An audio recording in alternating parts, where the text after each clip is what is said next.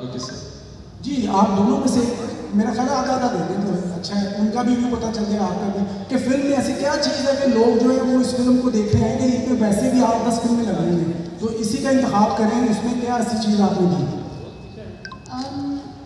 मैं ये कहूँगी कि इस वक्त uh, यही बहुत बड़ी बात है कि हम लोग फ़िल्म पे फ़िल्म बना रहे हैं। क्योंकि uh, जो इस वक्त हाल है कम फ़िल्म बन रही हैं कोई देखने भी नहीं जाता सिनेमाज तो मैं तो इस बात में बहुत खुश होती हूँ कि कोई भी फ़िल्म बने वो अच्छी बात है।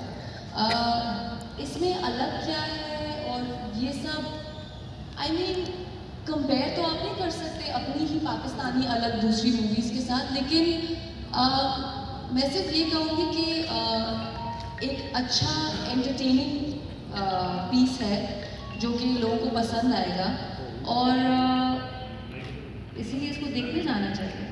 पाकिस्तानी फ़िल्म है सपोर्ट करनी चाहिए। सर मुझे लगता है कि ये जो फ़िल्म का मीडियम होता है ना, उसमें दो, ढाई या तीन घंटे मैक्सिमम है। तो तीन घंटे नहीं होते, ढाई घंटे सही है। उसमें आपने एक कहानी सुनानी है जो इंसान को मूव करे। इंसान के अंदर जज्बात को या खुशी को या वक्त को मूव करे। तो एक फ़िल्म कंप्लीट पैकेज तभी बनती है जब वो आप बैठे हुए हों एक अंधेरे कमरे में, जो सिनेमा घर होता है, और आप उसके अंदर डूब जाए। फिर आपको लगता है कि आपके पैसे वसूल हो बेशक वो फ़िल्म सौ करोड़ की बनी हो या बीस करोड़ की या चार करोड़ की। अगर आप उसको देख के निकले कि, यार, मैं ढाई घंटे, मुझे पता नहीं लगे तो आप अपने घर वालों को या दोस्तों को बोलेंगे, यार, ज़रूर देखने जाना फ़िल्म अच्छी थी और हमारी पाकिस्तानी फ़िल्म थी। तो मेरा जो इस फ़िल्म के साथ है, क्योंकि मैं इस फ़िल्म को देख चुका हूँ डबिंग पे दो बार मैंने डबिंग की है फ़िल्म की तो मैं रफ कट में ही इस फ़िल्म में डूब गया था। और इसलिए मैं चाहता हूँ कि सारे पाकिस्तानी जाकर इस फ़िल्म को देखें, क्योंकि इन इस फ़िल्म से प्राउड होंगे।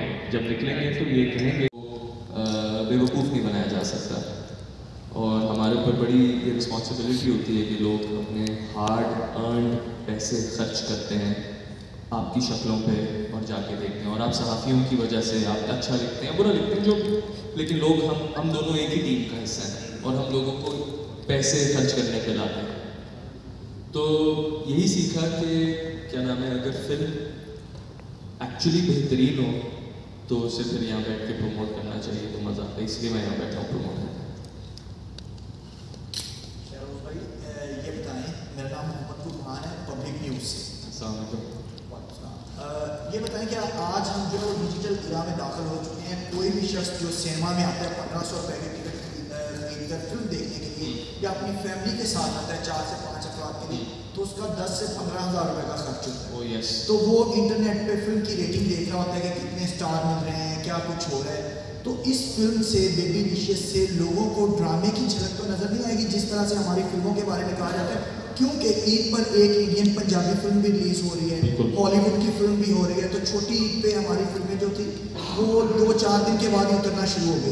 तो इस दफ़ा बारह फ़िल्में रिलीज़ हो रही हैं सिल्वर स्क्रीन की जीनत बन रही हैं तो ड्रामे की झलक और बॉक्स ऑफ़िस पर खुद जो है वो आप इस फ़िल्म को किस मुकाम पर देखें ये भी जरा बता दीजिए इस कंपटीशन अच्छा वैसे पहली बात तो ये जब ये फ़िल्म हमने अनाउंस की थी कि हम ईद पे आ रहे हैं तो उस वक्त तो बारह फ़िल्में नहीं थी बाद में सब जान गए शायद पता नहीं। लेकिन उस वक्त नहीं थी। तो हमारे प्रोड्यूसर साहब ने एक्चुअली सबसे पूछा भी था कि आप ईद पे तो नहीं आ रहे? ये एक तरीका होता है अगले को रिस्पेक्ट देने का क्योंकि वैसे ही प्रॉफिट शेयरिंग कम है स्क्रीन्स कम है। बट एनी वे अब आ रहे हैं तो आ रहे हैं और हेल्दी कंपटीशन है। हाँ जी इन तो आपका मेजर सवाल क्या था? ओके ओके तो यही है कि जब हमने ये ट्रेलर लॉन्च किया था तो हमें जो सबसे ज़्यादा खुशी हुई थी वो नीचे, क्योंकि हम तो कमेंट्स पढ़ के ही जज करते हैं। अच्छे हो या बुरे हो, आजकल की दुनिया में या तो आपने कुछ लिखा हो या तो आवाम ने कुछ लिखा हो पढ़ के। तो जो जो सहाफ़ियों ने लिखा और कमेंट्स में आवाम से आया, वो यही आया कि ये फ़िल्म लग रही है। तो यहाँ हमें पहली तसली मिल गई कि ये फ़िल्म लग रही है। चलो, इस बहाने, क्योंकि लोगों का यही है, यार ये ड्रामा लग रहा है या ये कुछ लग रहा है। तो इस बहाने लोगों के साथ ज्यादती हो जाती है। तो ये हमें पूरा यकीन है कि ये ढाई घंटे या सवा दो घंटे की आप फ़िल्म देखेंगे। और वो अच्छी होगी या बुरी, ये आप लोग फैसला करेंगे। मुझे पर्सनली बहुत मज़ा आया था, और एक इमोशनली चार्ज फ़िल्म है, इसमें थोड़ा हंसेंगे, थोड़ा रोएँगे, थोड़ा गुस्सा भी खाएँगे। और ओवरऑल महसूस करके निकलेंगे कि आप एक ढाई घंटे में फ़िल्म देख के निकलेंगे मुझे ये अरबुल कहते हैं, मैं ये सायरा जी से सवाल कर हूँ। सर। ये ईद पर जो होता है उमन एक सेकंड यार ये रिवर्ब रिवर्ब बहुत वो है आवाज़ नहीं आ रही किसी की। हमें आपने इसका एको वो कर दें तो ईद पर उमूमन जो फ़िल्में रिलीज़ की जाती है ना उसमें ज़रा वो कहते हैं मसालेदार चट चटखारेदार मूवीज़ होती हैं जो पब्लिक को करती हैं। वो कॉमेडी के अलावा जो मेन चीज़ हीरोइन के लिए होती है वो रक्स जो होते हैं ना वो बहुत ज़्यादा इसमें वो करते हैं। क्या समझती हैं आप इस फ़िल्म में कोई आपने ऐसा कोई रक्स वगैरह किए जो जो अट्रैक्ट करेंगे पब्लिक को आपकी फ़िल्म की तरफ़ जो ऑडियंस को अट्रैक्ट करेगी। जी आई थिंक जो हमारा इसमें अ, गाना है जो अ, एक मेहंदी के सेटअप या शादी के सेटअप का गाना है आई थिंक वो लोगों के लिए बहुत एंटरटेनिंग होगा क्योंकि एक तो उसमें मेहनत बहुत हुई है। हमने वो गाना ना नौ दिन में शूट किया है।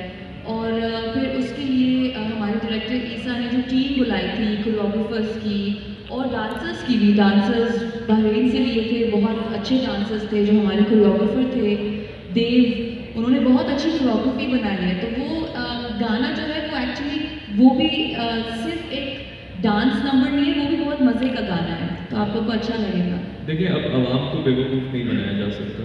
वरना दो दिन या तीन दिन में फ़िल्में उतर रही हैं चीज़ें हो रही हैं। तो ये हमें भी पता है। हमने कोशिश की है कि अगर इतने साल लगे हैं इस फ़िल्म को तो जो जो इस फ़िल्म में हो रहा है, जो जो इवेंट हो रहा है, चाहे वो शादी का इवेंट हो रहा है, चाहे लड़ाई हो रही है, चाहे रोमांस हो रहा है, चाहे कॉमेडी हो रही है, वो अपने तौर पे हमने कोशिश की है कि परफेक्ट करें। ऐसा ना करें कि चलें कर लेते हैं, बस लोग हैं, देख लेंगे। अब लोगों को इजी नहीं लेना ये तो समझ गए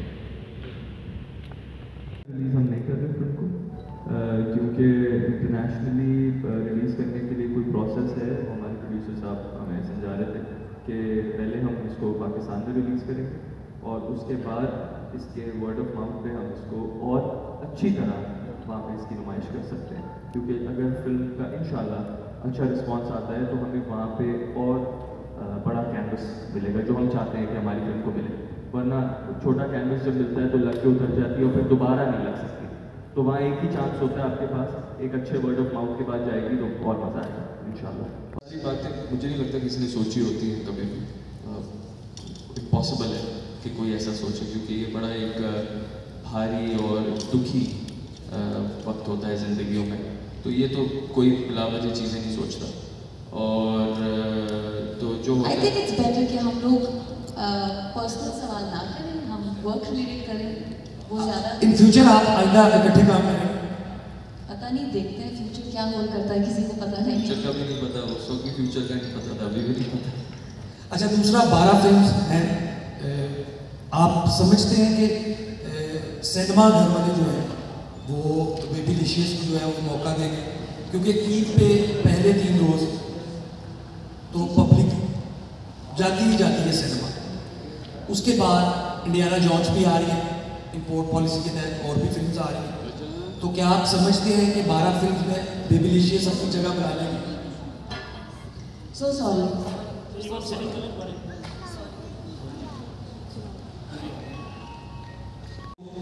रश होगा ही लोग सिनेमा घर जाएँगे। तो वैसे भी ईद कुर्बा है तो मोस्टली जो यंग जनरेशन है वो सिनेमा जाती है। क्या आप समझते हैं कि ईद के बाद बेबी विशेष जो है वो अपनी सिनेमा की स्क्रीन पे जगह बना लेंगे Uh, मुझे लगता है कि इंशाल्लाह होप होपफुली ख्वाहिश तो और होप्स यही हैं कि वो अपनी जगह बना के रहे सिनेमा ईद के बाद भी और मुझे लगता है कि होगा इंशाल्लाह पॉजिटिव फीलिंग्स तो हैं। आप क्या कहते हैं सर चाहिए जो पहले Sorry, Umar, one minute. We would like to introduce Umar Isa Khan. He is the director and the producer of the movie Babylicious. अच्छा पहली चीज़ याद रखें इट्स एम द राइटर लेखक भी is not also the writer. It's not a competition with any film her film की अपनी जगह होती है। हर फ़िल्म की अपनी जगह होती है। तो इन आई थिंक अगर फ़िल्म के अंदर जान होती है तो वो तीन दिन भी चल सकती है वो तीन हफ़्ते भी चल सकती है।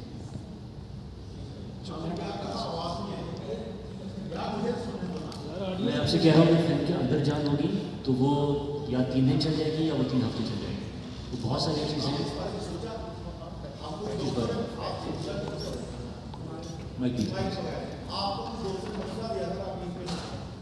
हाँ। जी। किसकी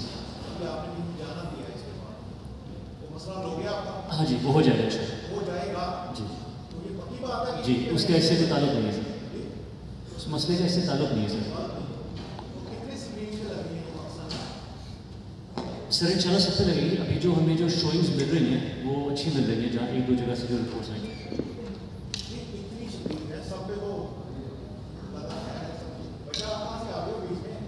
सर मैं आपको बताता हूँ। देखिए जो मेजर बिज़नेस होता है वो होता है आपका पाँच सिटीज़ में जहाँ हम फोकस करते हैं। लाहौर कराची इस्लामाबाद फैसलाबाद मुल्तान दूसरे शहर भी इंपॉर्टेंट है लेकिन यहाँ मेजर होता है। जो आपके दो या तीन जो अ, चार या पाँच जो ऑर्गेनाइजेशन हैं वहाँ से अच्छी रिपोर्ट्स आ रही हैं तो हमें अच्छे शोज़ मिल रहे हैं।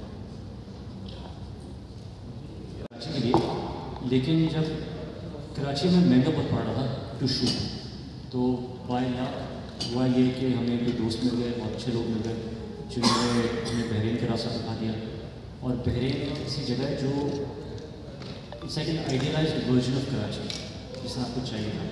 तो वो मिल गया और बहरीन अच्छी शूट भी हो गई।